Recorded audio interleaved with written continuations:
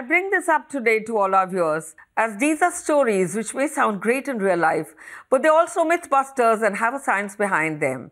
Today, we bring you Science Time Stories, a kaleidoscope of significant scientific developments that happened this week and snippets from the world of science. Today in the show, we will talk all about Project Dolphin, intranasal vaccines, side effects linked to overuse of kada, and how solitude affects, guess what, giraffes. Let's dive in. Friends, I would like to share with you the fact that dolphin is the national aquatic animal of India and their survival is increasingly at stake. Dolphins are intrinsically tied to our cultural ethos and history. They appear in ancient classical art as rescuers of shipwrecked sailors, and most of us adore dolphins, don't we? Who can miss their permanently smiling mouth? Most of these creatures roam in the oceans, but some do in fresh waters. There are at least 39 known species of dolphins, most of which are migratory. Dolphins face many threats accidental capture in fishing nets, depletion of food resources due to global warming, chemical and noise pollution, and, in some cases, direct killing for meat and fat. To survive, dolphins need clean and quiet oceans, protected areas, and people who care. The Government of India has taken several measures to document the dolphin wealth of our country. One among them is an initiative called Project Dolphin. The Prime Minister announced the project on 15th August 2020. The Project Dolphin aims to save both river and marine dolphins. The Ministry of Environment, Forest and Climate Change will implement it. And the Ministry of Environment, Forest and Climate Change has included Gangetic River dolphin as one of the 22 species for taking up a recovery program under the centrally sponsored scheme Development of Wildlife Habitats. The Gangetic River dolphin has been listed in Schedule 1, thereby giving them the highest degree of protection. The Gangetic River dolphin is found in one of the four freshwater dolphin species in the world.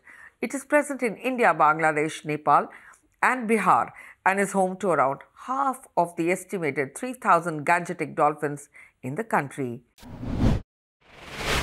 And moving on to story number two. Are you afraid of needles? Do vaccines give you the jitters? Well, nasal coronavirus vaccines might be for you. Even if needles don't scare you, intranasal doses might still appeal to you. We'll tell you why. But before that, I should tell you that nasal vaccines are not available for use yet. Five such vaccine candidates are in the works in various parts of the world. Nasal vaccine seems to have a lot going for them. They're also being touted as game changers. Here's why.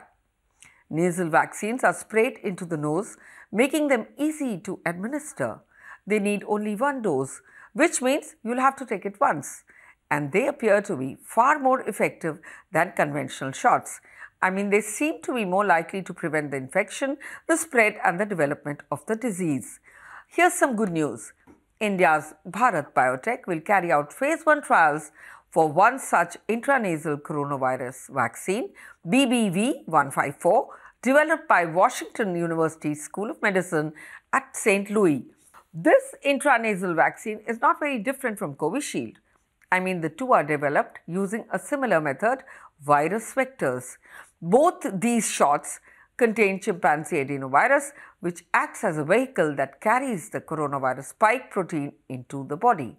Our body recognizes the spike protein as an invader and produces antibodies as a result. So now let's look at what makes intranasal vaccines promising. This is given via the nasal cavity, the primary site of infection. By spraying 0.1 ml of the dose into the nose, the immune cells residing in the nasal cavity, also called mucosal immunity, get activated. As a result, they keep the virus from infecting the upper and the lower respiratory tract. Doesn't this sound interesting? One can hope that the efforts to make one such vaccine against COVID 19 pays off. And moving on to the next story. When the COVID 19 pandemic took off, we were all flooded with WhatsApp forwards claiming that specific home remedies could boost our immunity.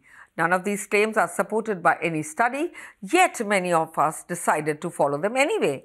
After all, the saying goes, it's better to be safe than sorry.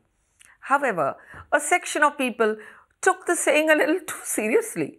It has been reported that consuming kada in excess could cause a lot of side effects such as mouth ulcers, gastritis, internal bleeding, diarrhea, and indigestion. Kada is an Ayurvedic drink containing black pepper, cinnamon, haldi, clove, gur, ginger, and tulsi leaves, all of which are readily available in most of our kitchens. In the right amounts, kada can have some health benefits according to doctors.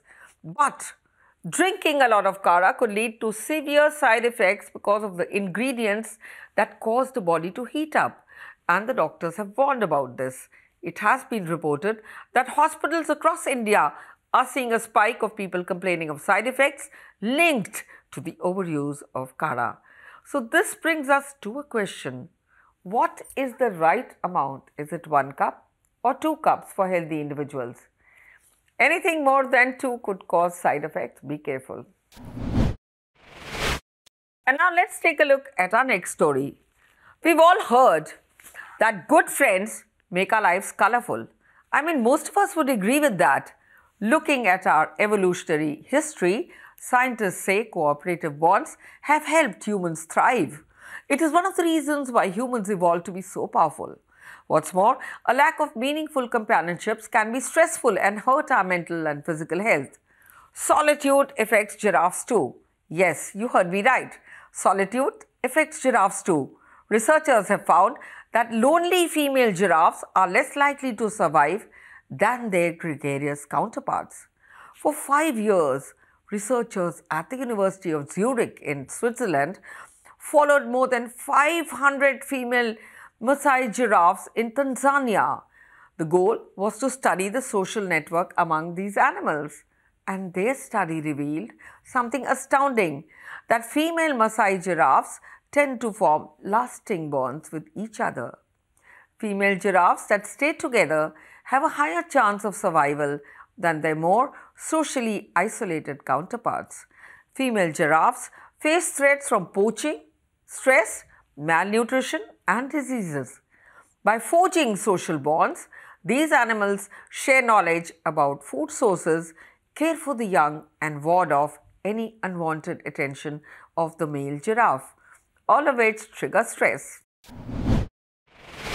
And with that, friends, this is a wrap of this edition of Science Time. Stay with us every Friday at 9 pm. Keep watching India Science. Namaskar.